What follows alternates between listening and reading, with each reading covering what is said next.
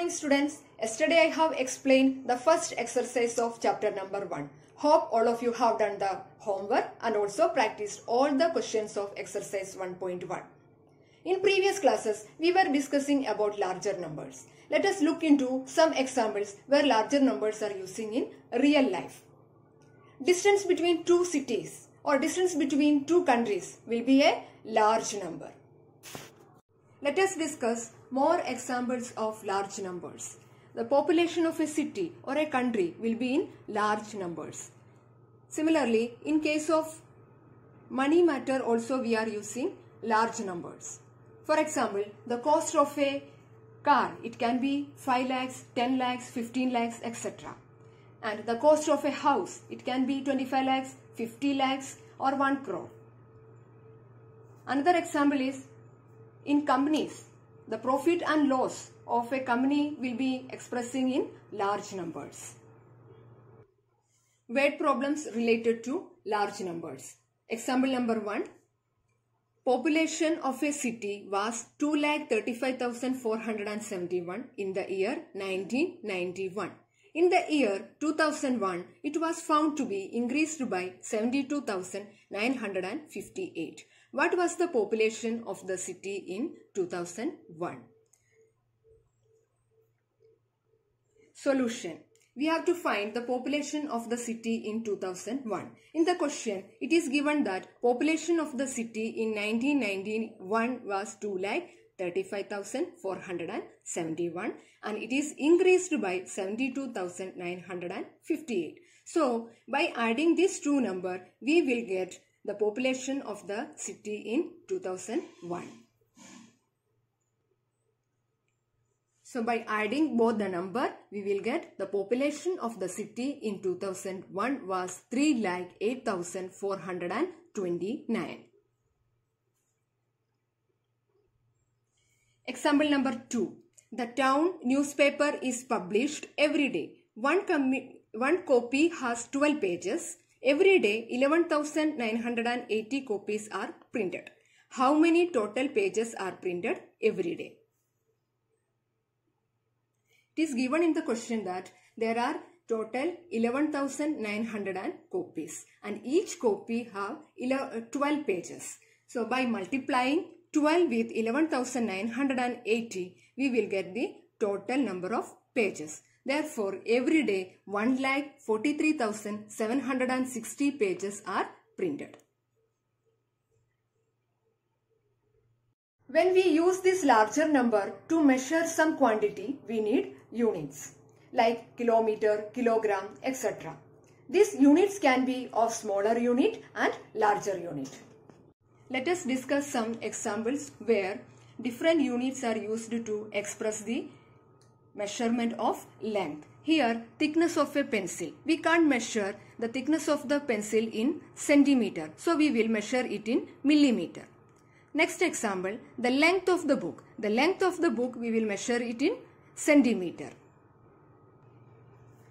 Here, length of the classroom. Length of the classroom, we will measure in meter.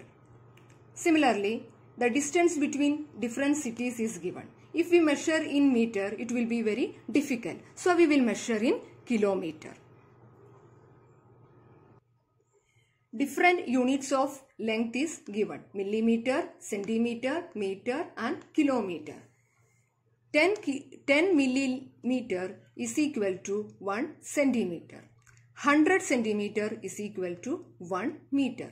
1000 meter is equal to 1 kilometer. Please remember it.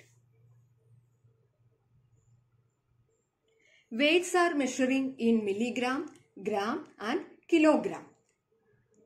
So 1 gram is equal to 1000 milligram, 1 kilogram is equal to 1000 grams. Liquid measures in milliliter and liter. So 1 liter is equal to 1000 milliliter. Milligram, gram and kilogram are the units of weight. Here milligram is the smallest unit and kilogram is the largest unit. Similarly, millimeter, centimeter, meter and kilometer are the units of length. And here millimeter is the smallest unit and kilometer is the largest unit. Next is conversion of units. Example 50 kilogram to gram.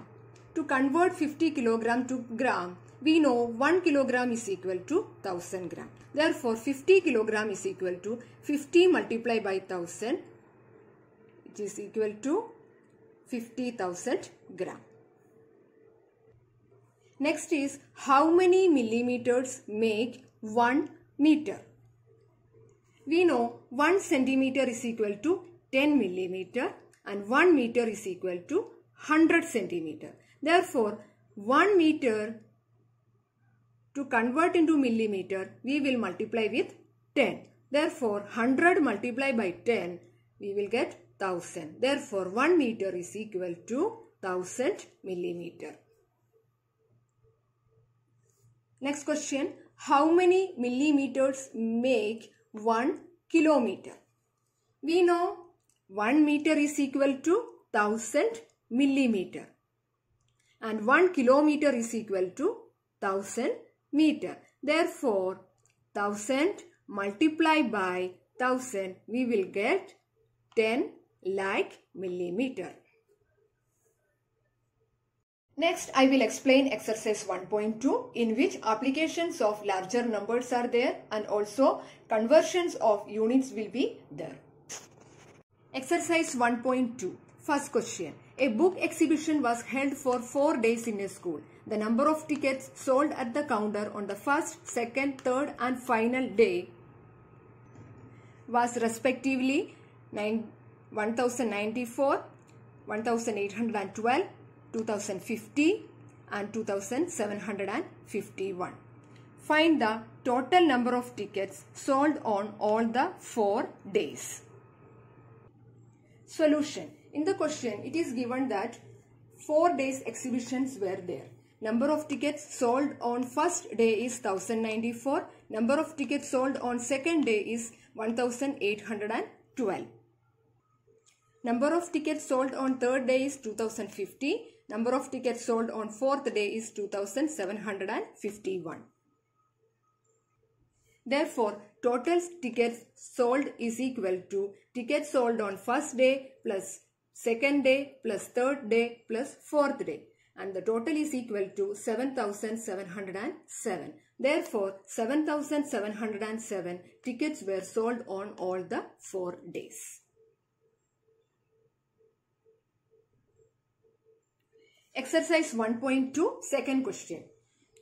Shekhar, Shekhar is a famous cricket player. He has so far scored 6,980 runs in test matches. He wishes to complete 10,000 runs. How many more runs does he need? So he scored 6,980 runs in test matches. He wishes to complete 10,000 runs. So we have to find out how many more runs does he need.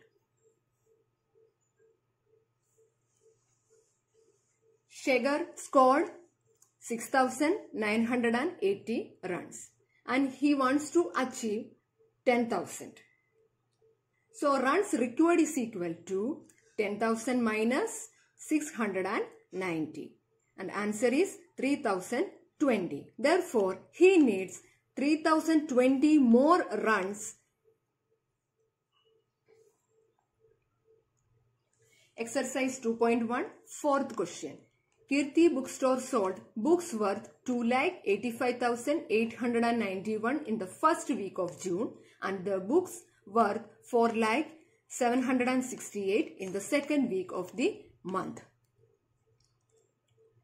How much was the sale for the two weeks together? In which week was the sale greater and by how much? In the question, it is given Books sold in first week is 2,85,891.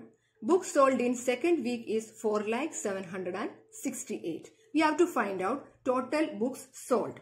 So total books sold, is equal to 2,85,891 plus 4,768. which is equal to 6,86,659. The question, it is asked in which week the sale was greater. The sale of second week is 4 lakh 768 and first week is 2 lakh 85,891. We know 4 lakh is greater than 2 lakh. Therefore, sale of second week is greater than that of first week. To find out how much more books sold in second week, we have to subtract the books sold in first week from the books sold in second week. By subtracting, we will get 1 lakh 14,877. Therefore, 1 lakh 14,877 more books were sold in second week. Today we have discussed applications of larger numbers in real life about different units and how to convert one unit into another unit. I have solved few questions of exercise 1.2. Please do practice and also do the homework. Today's homework NCERT textbook chapter number 1 exercise 1.2 question number 3. In an election the successful candidate registered 5,77,500 votes and his nearest rival secured 3,48,700 votes. By what margin did the successful candidate win the election? For more detailed videos and textbook, please log in into the links of Diksha and Extra Maths.